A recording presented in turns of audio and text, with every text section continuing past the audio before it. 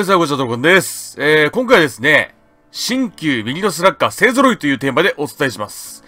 えー、僕の独断と偏見でですね、えー、右の強打者を3名選んで挙げてみました。まあ、あのー、特徴的なところもね、ちょっと選んでね、挙げてみたのですが、どんな選手がね、出てくるでしょうか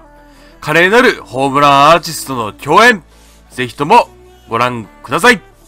それでは、始めていきます。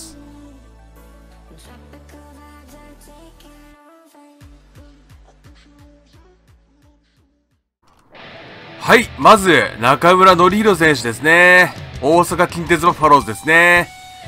で、中村選手なんですけど、通算成績が2267試合出場し、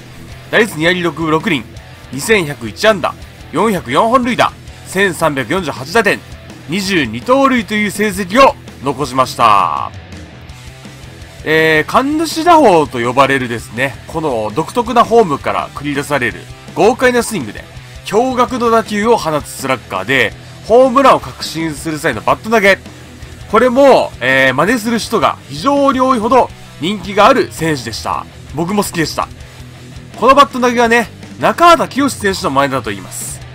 左バッターのタビー・ローズ選手とともに、猛牛のダブル大砲と呼ばれており、通算404本ものホームランアーチをかけました。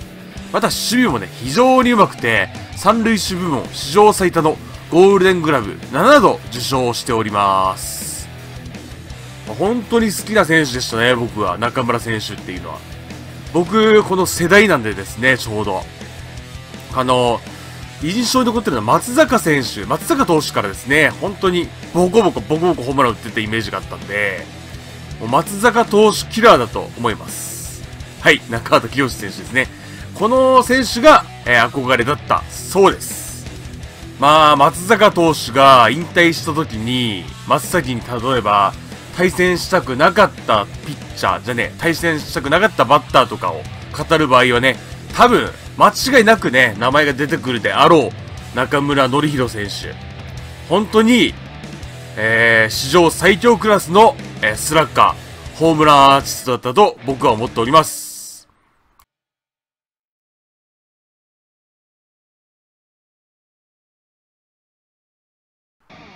続いてですね、中村拓也選手を挙げました。埼玉西武ライオンズ。えー、通算成績がですね、1664試合出場し、打率2割5分6厘、えー、1467安打、415本塁打、1166打点、26盗塁という成績を残しております。えー、愛称はね、おかわりくんと呼ばれており、まあ、これはね、えー、有名な話だと思いますが、このおかわりくんの由来、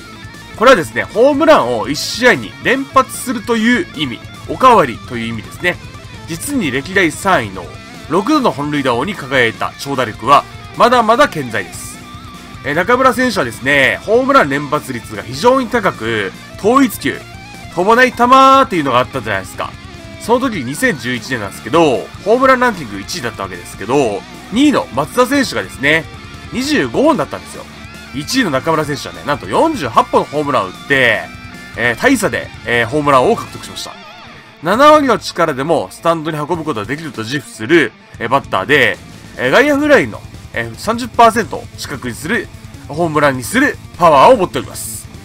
まあ、これはね、天性のホームランアーティスだと思いますし、まあ、あの、現役最強クラスのバッターだと思いますね。でもね、最近はですね、ほんと打点、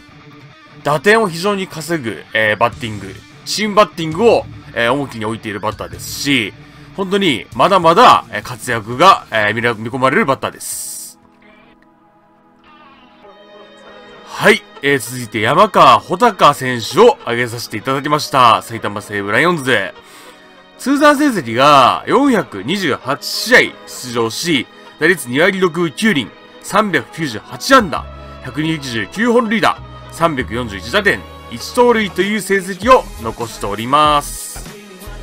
うん、正直ね、同じ球団で2人は選びたくなかったのですが、まあ、この人ちょっと外せねえなと思って、選ばせていただきました。右の長距離方ではですね、外せないでしょう。2年連続40本塁打達成し、筒香義友選手以来、平成生まれの選手で2人目となる、えー、シーズン40本塁打を達成するなど、完全に殻を破りました。えー、中村拓也選手に憧れており、体型、打撃フォームまでそっくりなんですよね。えー、西武が優勝できたのも、ダブルおかわりくんの活躍なくして、可能ではなかったと思います。意外にもね、山川選手、野球以外の特技は、ピアノと習字だと言います。この培った器用さがですね、バッティングの柔らかさに繋がっているのかもしれません。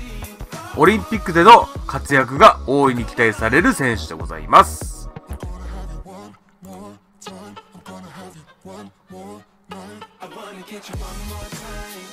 はい、いかがでしたでしょうか？今回はね、超人右バッターを挙げさせていただきました。まあ、中村則弘選手はね、もう引退されてあるんですが、中村拓也選手と、えー、山川選手は現役ですので、まだまだ活躍に期待していきたいと思います。この動画がね、少しでも良かったな、面白かったなと思っていただける方は、チャンネル登録とグッドボタン、よろしくお願いいたします。励みになりますので、よろしくお願いいたします。以上です。ご視聴ありがとうございました。